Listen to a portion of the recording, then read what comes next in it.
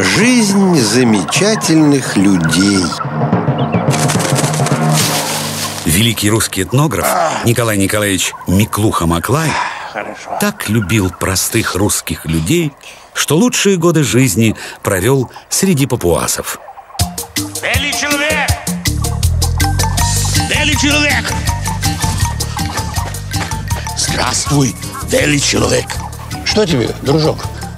Я принес тебе новость. У нашего вождя есть три сына.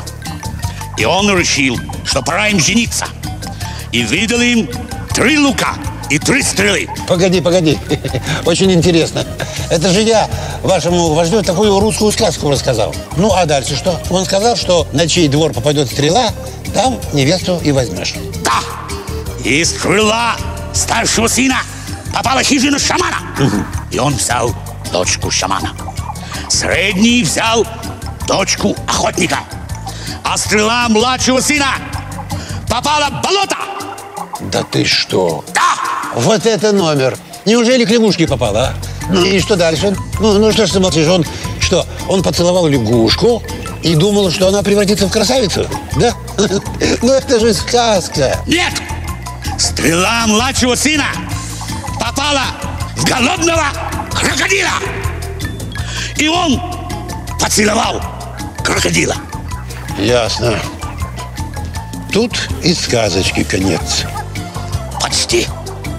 Он поцеловал крокодила, и голодный крокодил превратился в ситого крокодила. Вот как. Да, крокодил от тебе, конечно, не лягушка. А знаешь, дружок, запишу-ка я эту историю как папуасскую сказку. А когда вернусь домой, обязательно ее опубликую для русских детишек. Белый человек, зачем такое вашим детям? А чтобы они родину больше любили.